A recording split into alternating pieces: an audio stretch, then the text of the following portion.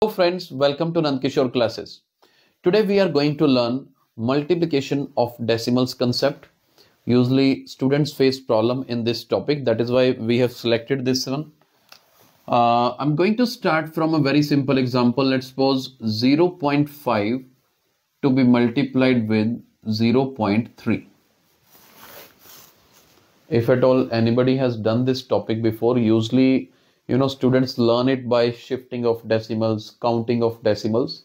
I would like to avoid that as of now because i want to clarify the basic concepts. And basics needs to be strong. You will always remember throughout the life. See this is 0.5 0.5 can be written as 5 by 10 i hope you are aware that how to convert a decimal number into fraction. But still i am explaining after decimal you need to count the number of digits. We are having only one digit.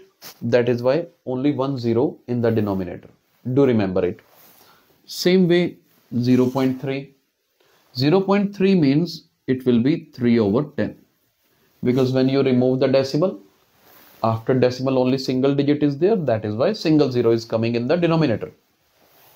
Now just multiply them numerators are multiplied with each other. 5 times 3 is 15 denominators are multiplied with each other. 10 times 10 is 100 question is simple. Now in the denominator two zeros are there. That means in the numerator after decimal two digits should be there. 1 and 2 these are the two digits i am already having. So its answer is 0.15 i have done the reverse process this is the basic concept behind the multiplication of decimals and I find it really easy. Let me do another question. Let's suppose we have another question 0.15 multiplied with 0.3. Let's suppose we want to multiply these two numbers. Now what we need to do here after decimals two digits are coming so I can write it as 15 over 100 and for 0.3 I can write it as 3 over 10 now multiply the numerators with each other and denominators with each other. 15 times 3 is 45 100 times 10 is 1000 now try to understand this question very carefully I am having three zeros in the denominator whereas in the numerator I am having only two digits. So the point is when three zeros are there in the denominator then in my final answer after decimal I need three digits.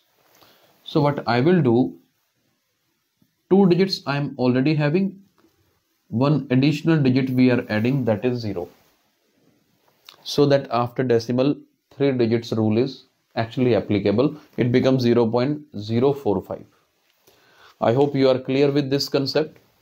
We are going to do one more question. For more clarification just one minute i am doing here. I hope this basic concept is getting clear now. Let's suppose you have 0.03 times 0 0.002 let's suppose this is the question. Now this can be written as 3 over 100 it can be written as 2 over 1000 right? Now 3 multiplied 2 is 6 and in denominator you are having now five zeros after multiplication. 6 upon 1 lakh. Now its final answer should contain after decimal total 5 digits whereas I am having only one digit 6 remaining 4 zeros needs to be added here. Your answer will be 0 0 0 0 then you will write 6 this is the final answer now this was all about the basic concept behind the decimals multiplication. Now in short if we see what you can do let's suppose 0.3 times 0.2 this is the question. In short what we say forget about decimals just multiply 3 and 2 3 and 2 multiplied we get 6 but this is not the final answer now we need to think what to do with the decimals. See after decimal how many digits are there? One digit. In the second number after decimal how many digits are there? One digit. So one digit is coming extra here one digit is here. So 1 plus 1 you need to add them. 1 plus 1 is 2 that means in my final answer after decimal two digits will be there. So directly I can write it. But what happened? Why I taught you basics? Because usually this addition or something usually people forget after some time. This sometime can be some months some weeks or some year whatever. It depends on individual to individual.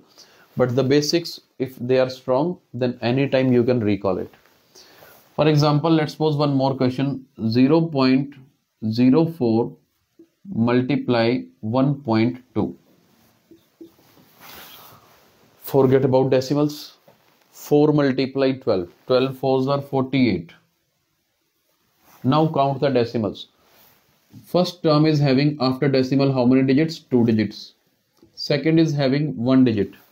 2 plus 1 3 that means in my final answer after decimal three digits should be there. 3 digits means 2 are already there.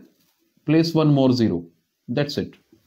That means 0.048 is the answer i hope you are clear with this concept now i am giving one question for you please try out that question 0.04 multiply 0.03 please write its answer in the comment box i would also like to see whether you are clear with the concepts or not but I hope you really like this video and you are able to understand the whole concept.